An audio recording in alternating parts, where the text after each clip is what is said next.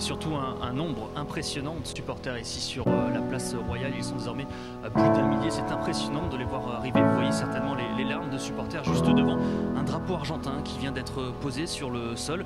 Euh, certains supporters ont, scandé le nom d'Emiliano Sala. Vous voyez ce moment un petit peu dommage, comme dans les stades lorsque l'on met l'écharpe de son club. Et eh bien regardez, impressionnant. On a l'impression d'être dans la tribune à la Beaujoire. Beaucoup d'émotions, beaucoup de silence, énormément énormément de maillots jaunes. Et je vous laisse écouter un petit peu cette ambiance qui monte, cette émotion qui.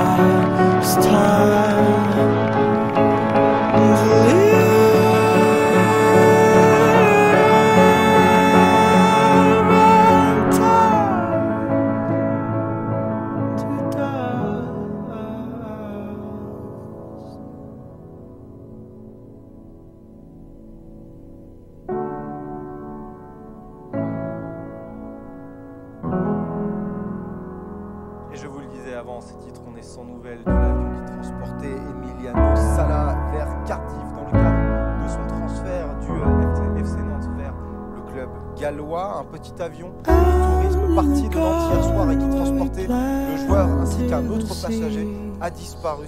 ce petit avion a disparu au de la Manche. Les recherches ont été déclenchées. La police de Guernesey, une île britannique au large des côtes normandes, a communiqué. Regardez ce tweet, aucune trace pour euh, le moment, deux hélicoptères et un navire de sauvetage sont partis à sa recherche. On va partir.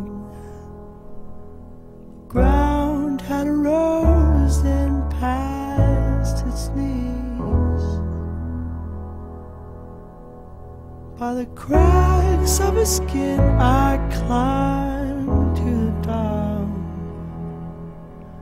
I climbed the tree to see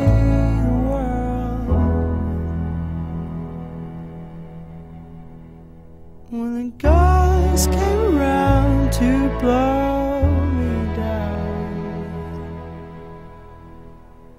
Held on as tightly as you held on me.